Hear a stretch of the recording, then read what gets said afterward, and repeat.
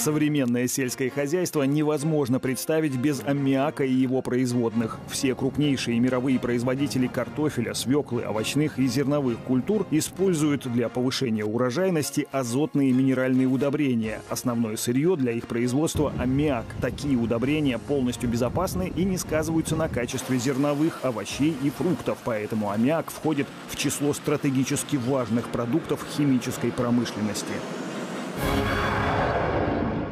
В этом выпуске мы отправляемся в Тольятти на один из крупнейших химических комбинатов страны – Тольятти Азот. Узнаем, как производят аммиак. Берется природный газ, водяной пар, специально подготовленная вода и электрическая энергия, плюс воздух из атмосферы. Изучим актуальную производственную экономику. Сколько стоит техническое перевооружение российского лидера отрасли? Программа рассчитана до 2022 года, и она, конечно, будет дальше продолжаться. Подтвердим стандарты безопасности производственного гиганта. Мы оснащены хорошими современными приборами с компьютерным обеспечением. ТОАС, Тольятти, Азот. Одно из крупнейших химических производств России входит в тройку лидеров по производству аммиака в стране и в десятку мировых лидеров. Единственный в мире химический комбинат, который ежегодно способен производить более трех миллионов тонн аммиака. Кроме того, Тольятти Азот входит в тройку крупнейших налогоплательщиков региона и обеспечивает работой более 5000 человек. Производственные площади химического гиганта занимают более 200 гектаров. На этой территории установлены 7 агрегатов по производству аммиака и 2 агрегата по выпуску минерального удобрения карбамида. Мы находимся на центральном пульте управления агрегата аммиака номер 6. Это сердце одного из семи агрегатов ТОАЗа по получению аммиака. Агрегат уже прошел все этапы модернизации. Мы особо сконцентрировались на безопасной эксплуатации, поэтому применена самая современная на сегодня система управления этим агрегатом, которая обеспечивает надежную безопасную эксплуатацию в случае возникновения каких-то нештатных ситуаций, перевод агрегатов в безопасное состояние происходит без участия человека. Первый агрегат по производству аммиака Тольятти Азот запустил в апреле 1979 года. Виктор Александрович пришел на комбинат в 80-м, застал самый разгар строительства. Говорит, с момента запуска производства это самое широкомасштабное техническое перевооружение. Были заменены полностью реакционные трубы, динамическое оборудование модернизировано, были самые современные катализаторы поставлены. Результат – рост производительности агрегата до 25%. Каждый агрегат – это своего рода завод. Для сравнения, на территории Великобритании работает 8 таких заводов. Совместно они производят всего около 2 миллионов тонн аммиака в год. Между тем, потребности Евросоюза в аммиаке сейчас превышают 30 миллионов тонн ежегодно. Размещено на открытых площадках на агрегат аммиака. Процесс получения аммиака основан на его синтезе из азота и водорода. Азот берут из воздуха. Для получения водорода используют водяной пар и природный газ. Яркий пример создания добавочной стоимости для российского сырья. Внутри установлены 504 реакционных трубы, в которые загружен никелевый катализатор. В них поступает природный газ вместе с водяным паром. И при их воздействии температуры на никелевом катализаторе идет конверсия, то есть преобразование метана в водород. Это мегапечь размером с пятиэтажку. Одна из самых важных и дорогих конструкций в агрегате. Температура внутри больше тысячи градусов. Виктор Александрович ведет нас на следующий производственный этап. Здесь установлены два компрессора. Один из них компрессор синтез газа. Вот он перед нами. А, Перекачивает азотно-водородную смесь, которая дальше поступает в колонну синтеза или реактор синтеза аммиака. Все узлы и механизмы здесь модернизированы. Заменены роторы, установлены передовые системы управления и контроля. Позволяет работать агрегату на тех нагрузках, которые на сегодня он получает. Это 1750 тонн аммиака в сутки. Сегодня ТОАС поддерживает стабильный экспорт продукции более чем в 120 стран мира. Доля экспорта колеблется в районе 70% от общего объема.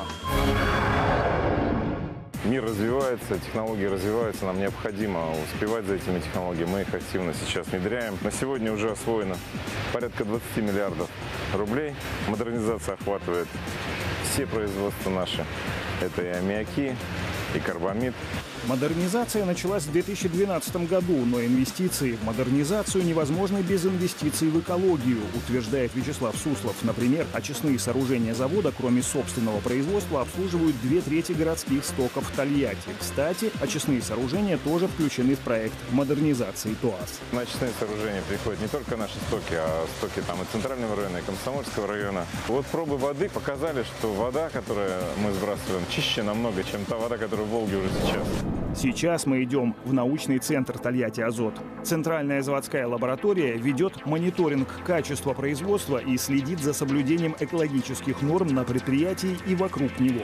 Наша основная цель – это разработка новых технологий, которые приводят к улучшению качества продукции, увеличению ее выпуска, сокращению отходов производства. Поскольку отраслевая наука в рамках страны не развивается, ученые и лаборанты здесь ведут собственную научно-исследовательскую работу, разрабатывают передовые российские методики. У нас 34 человека, лаборанты, инженеры. Приборы у нас современные, с компьютерным обеспечением, поэтому работа на них требует хороших теоретических знаний и практических навыков.